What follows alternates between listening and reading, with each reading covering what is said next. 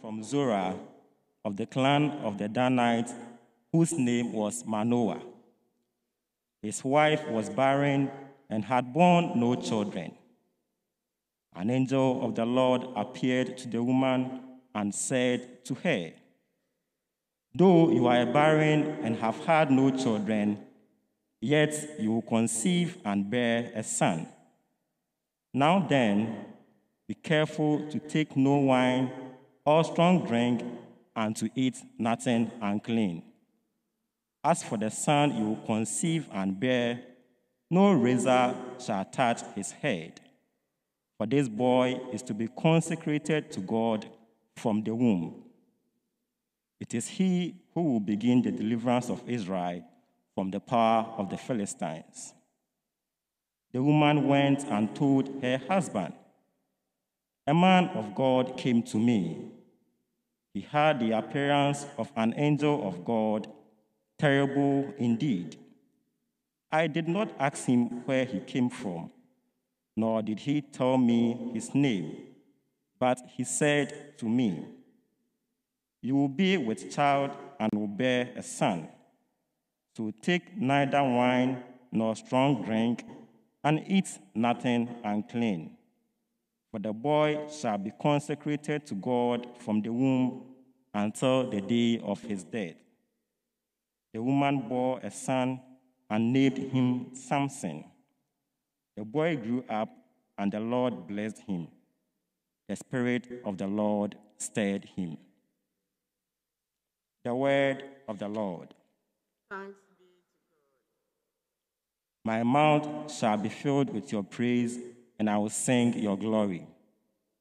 My mouth shall be filled with your praise, and I will sing your glory. Be my rock of refuge, a stronghold to give me safety. For you are my rock and my fortress. O my God, rescue me from the hand of the wicked.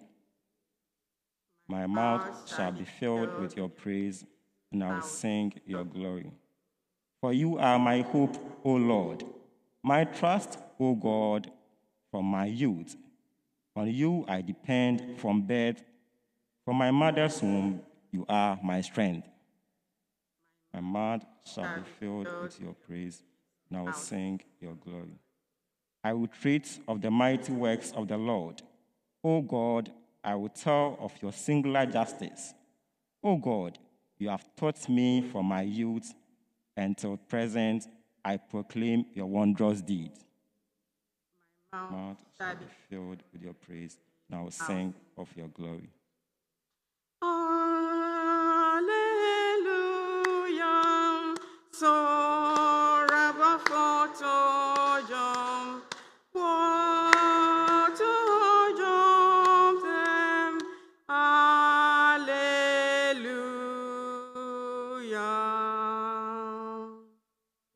Root of Jesse's stem, sign of God's Lord for all his people, come to save us without delay.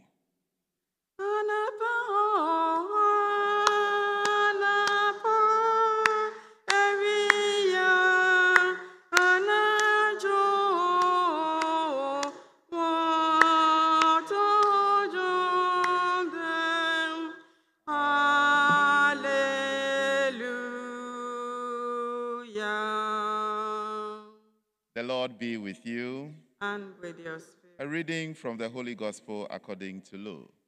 Glory Glory be to you, O Lord. In the days of Herod, king of Judea, there was a priest named Zechariah of the priestly division of Abijah. His wife was from the daughters of Aaron, and her name was Elizabeth. Both were righteous in the eyes of God, observing all the commandments and ordinances of the Lord blamelessly. But they had no child, because Elizabeth was barren, and both were advanced in years. Once, when he was serving as priest in his division's turn before God, according to the practice of the priestly service, he was chosen by Lot to enter the sanctuary of the Lord to burn incense. Then, when the whole assembly of the people were praying outside at the hour of the incense offering, the angel of the Lord appeared to him, standing at the right of the altar of incense. Zechariah was troubled by what he saw, and fear came upon him. But the angel said to him, Do not be afraid, Zechariah, because your prayer has been heard. Your wife Elizabeth will bear you a son, and you shall name him John. And you will have joy and gladness, and many will rejoice at his birth, for he will be great in the sight of the Lord. He will drink neither wine nor strong drink. He will be filled with the Holy Spirit even from his mother's womb, and he will turn many of the children of Israel to the Lord their God. He will go before him in the spirit and power of Elijah to turn the hearts of fathers toward children and the disobedient to the understanding of the righteous to prepare a people fit for the Lord. Then Zechariah said to the angel, How shall I know this? For I am an old man, and my wife is advanced in years. And the angel said to him in reply, I am Gabriel, who stand before God I was sent to speak to you and to announce to you this good news. But now you will be speechless and unable to talk until the day these things take place, because you did not believe my words, which will be fulfilled at their proper time. Meanwhile, the people were waiting for Zechariah and were amazed that he stayed so long in the sanctuary. But when he came out, he was unable to speak to them, and they realized that he had seen a vision in the sanctuary. He was gesturing to them, but remained mute. Then, when his days of ministry were completed, he went home. After this time, his wife Elizabeth conceived, and she went into seclusion for five months, saying, So has the Lord done for me at a time when he has seen fit to take away my disgrace before others. Brothers and sisters, the gospel of the Lord. Praise to you, Lord Jesus Christ.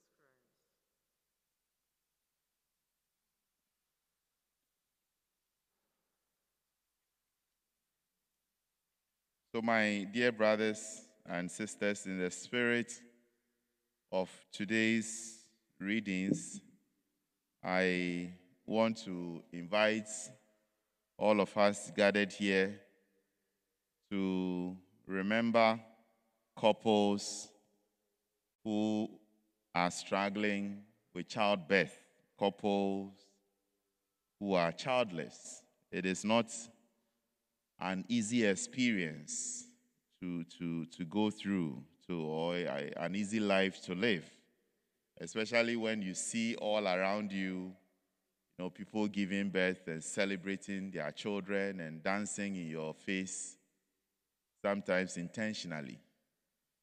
It is not an easy experience. So let's let's pray for them. If that is their situation and it won't change, God Himself should give them the grace to accept and to live that kind of life. And as we pray for them also, I believe that God we show them what to do because sometimes you don't always have to have your own children. You can adopt, and the church allows that. The church permits that couples can adopt and have their children baptized and raised.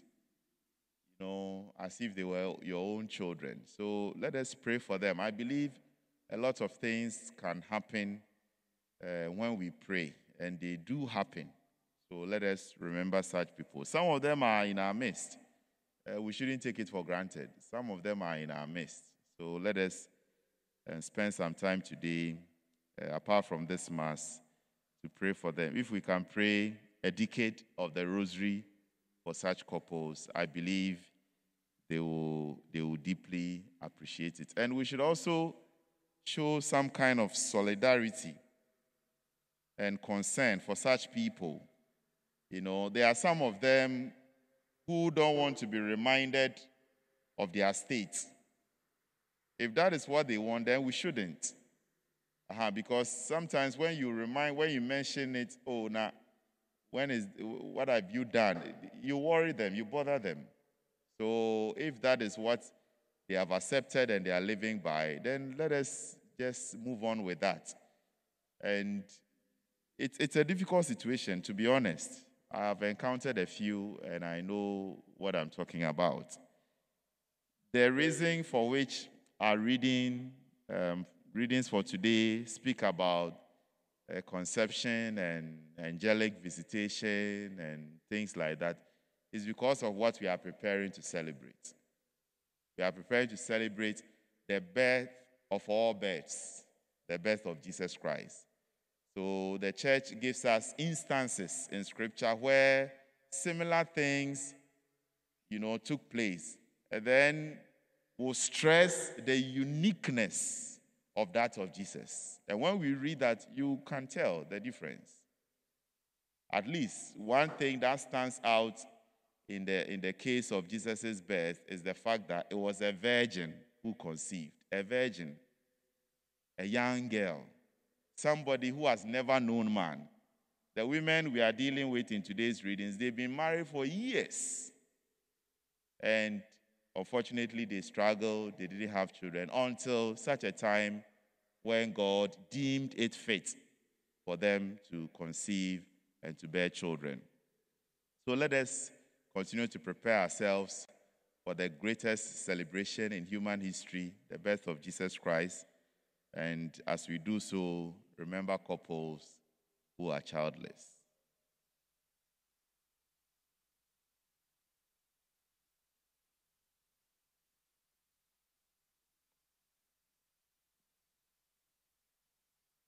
Shall we offer our intentions before the Lord, and our response will be, Lord, hear our prayer.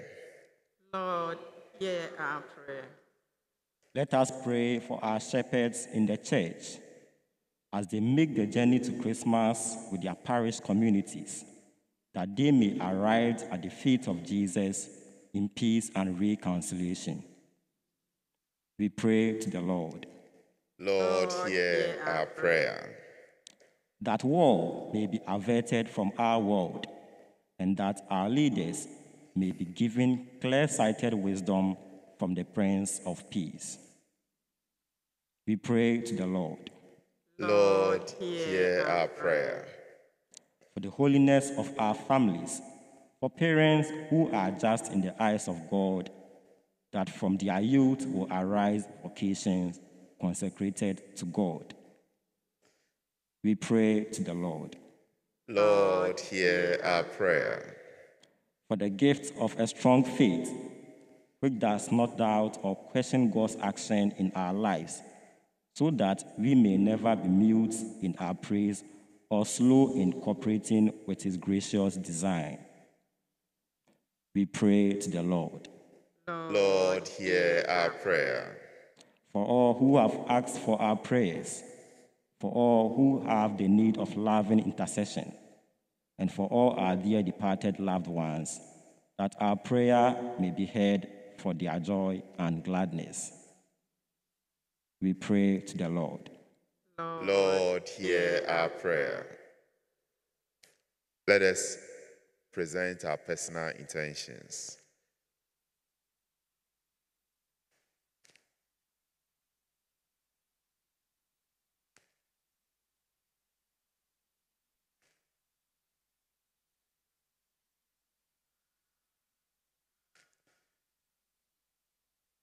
Pray for us, O Holy Mother of God. that we may be made worthy of the promises of Christ. In your mercy, God, our Heavenly Father, hear our prayers and grant to us what we ask for in faith through Christ our Lord. Amen. Zorah of the clan of the Danites, whose name was Manoah. His wife was barren and had borne no children. An angel of the Lord appeared to the woman and said to her, Though you are barren and have had no children, yet you will conceive and bear a son. Now then, be careful to take no wine or strong drink and to eat nothing unclean. As for the son you will conceive and bear, no razor shall touch his head. For this boy is to be consecrated to God from the womb. It is he who will begin the deliverance of Israel from the power of the Philistines. The woman went and told her husband, A man of God came to me. He had the appearance of an angel of God, terrible indeed. I did not ask him where he came from, nor did he tell me his name, but he said to me, You will be with child and will bear a son. So take neither wine nor strong drink, and eat nothing unclean. For the boy shall be consecrated to God from the womb until the day of his death. The woman bore a son and named him Samson. The boy grew up, and the Lord blessed him. The Spirit of the Lord stirred him. The word of the Lord. Thanks be to God. My mouth shall be filled with your praise, and I will sing your glory.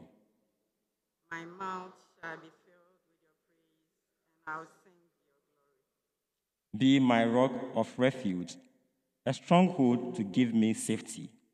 For you are my rock and my fortress. O my God, rescue me from the hand of the wicked. My mouth shall be filled with your praise, and I will sing your glory. For you are my hope, O Lord, my trust, O God, from my youth. On you I depend from birth. From my mother's womb, you are my strength. My mouth shall be filled with your praise, and I will sing your glory. I will treat of the mighty works of the Lord. O God, I will tell of your singular justice. O God, you have taught me from my youth until present. I proclaim your wondrous deeds. My mouth shall be filled with your praise, and I will sing of your glory.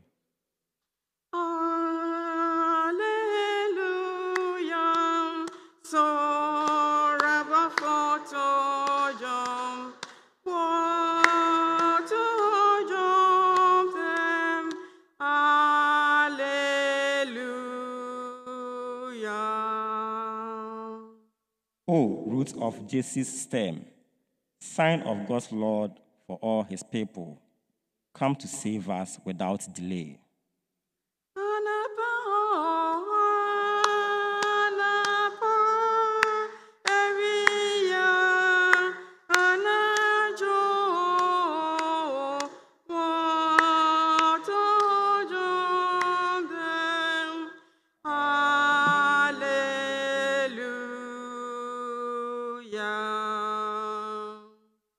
Lord be with you. And with your spirit. A reading from the Holy Gospel according to Luke. Glory Glory be to you, O Lord. In the days of Herod, king of Judea, there was a priest named Zechariah of the priestly division of Abijah. His wife was from the daughters of Aaron, and her name was Elizabeth. Both were righteous in the eyes of God, observing all the commandments and ordinances of the Lord blamelessly. But they had no child, because Elizabeth was barren, and both were advanced in years.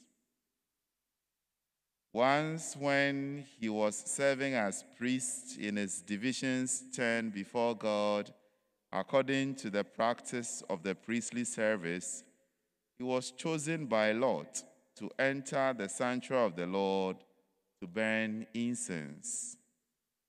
Then, when the whole assembly of the people were praying outside at the hour of the incense offering, the angel of the Lord appeared to him, standing at the right of the altar of incense.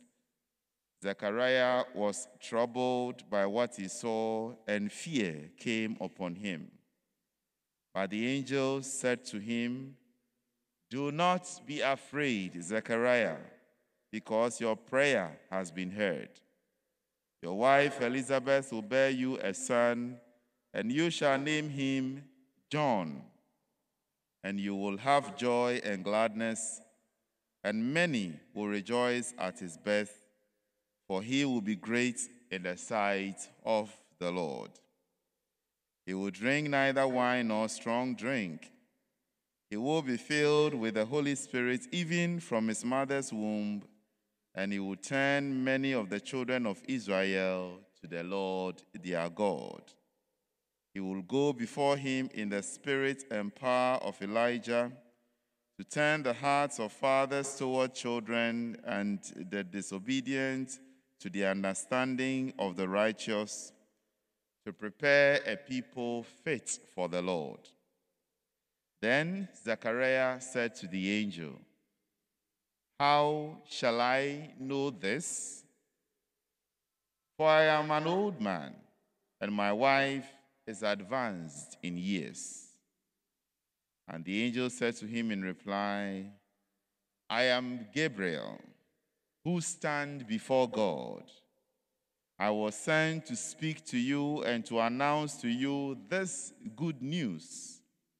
But now you will be speechless and unable to talk until the day these things take place because you did not believe my words, which will be fulfilled at their proper time.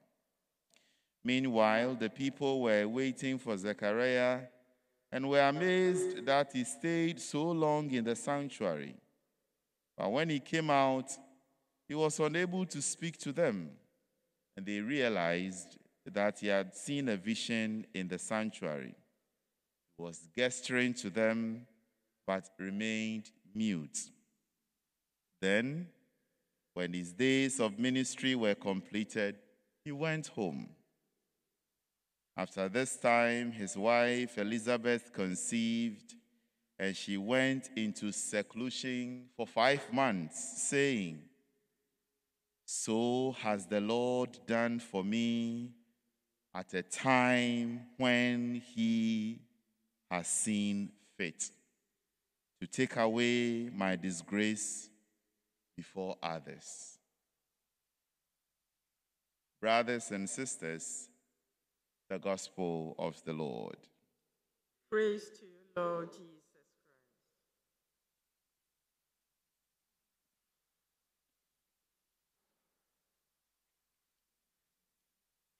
So, my dear brothers and sisters, in the spirit of today's readings, I want to invite all of us gathered here to remember couples who are struggling with childbirth, couples who are childless. It is not an easy experience to, to, to go through to, or a, an easy life to live especially when you see all around you, you know, people giving birth and celebrating their children and dancing in your face, sometimes intentionally.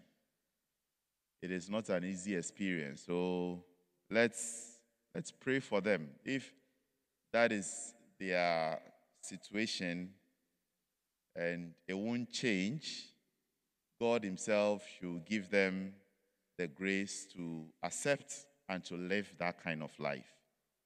And as we pray for them also, I believe that God show them what to do because sometimes you don't always have to have your own children. You can adopt, and the church allows that. The church permits that couples can adopt and have the children baptized and raised, you know, as if they were your own children. So let us pray for them. I believe a lot of things can happen uh, when we pray, and they do happen. So let us remember such people. Some of them are in our midst. Uh, we shouldn't take it for granted. Some of them are in our midst. So let us uh, spend some time today, uh, apart from this Mass, to pray for them. If we can pray a decade of the rosary for such couples, I believe they will, they will deeply appreciate it. And we should also show some kind of solidarity and concern for such people. You know, there are some of them who don't want to be reminded of their state. If that is what they want, then we shouldn't. Uh-huh, because sometimes when you remind, when you mention it, oh, now, when is, what have you done? You worry them, you bother them. So if that is what they have accepted and they are living by, then let us just move on with that. And it, it's a difficult situation, to be honest. I've encountered a few and I know what I'm talking about. The reason for which our reading, um, readings for today speak about uh, conception and angelic visitation and things like that is because of what we are preparing to celebrate. We are preparing to celebrate the birth of all births, the birth of Jesus Christ. So the church gives us instances in scripture where similar things, you know, took place. And then we'll stress the uniqueness of that of Jesus. And when we read that, you can tell the difference.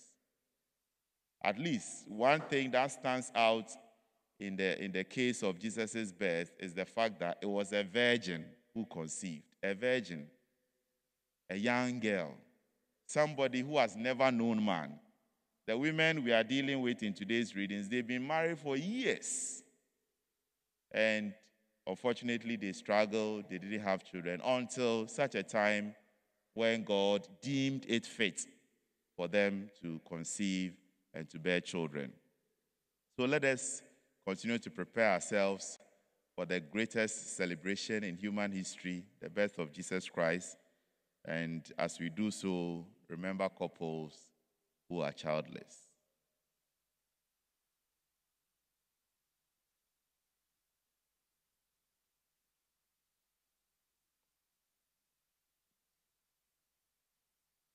Shall we offer our intentions before the Lord, and our response will be, Lord, hear our prayer.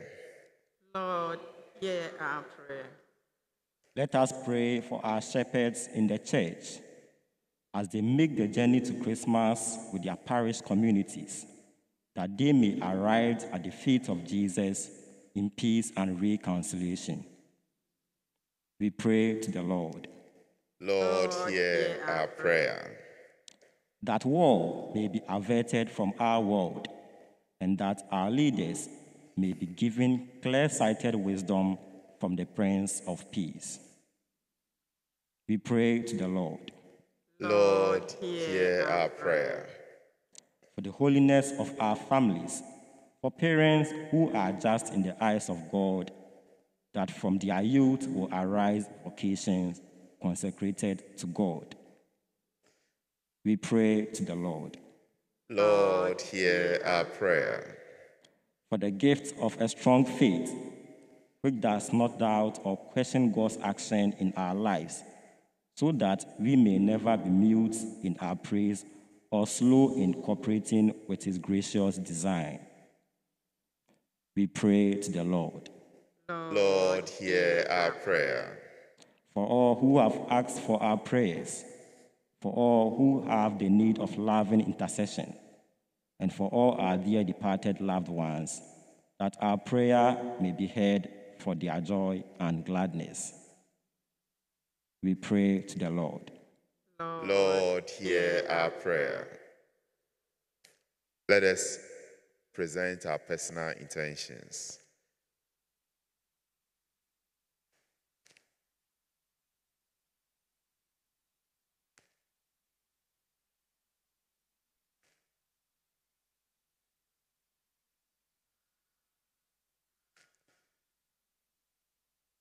Pray for us, O Holy Mother of God. that we may be made worthy of the promises of Christ. In your mercy, God, our Heavenly Father, hear our prayers and grant to us what we ask for in faith through Christ our Lord. Amen.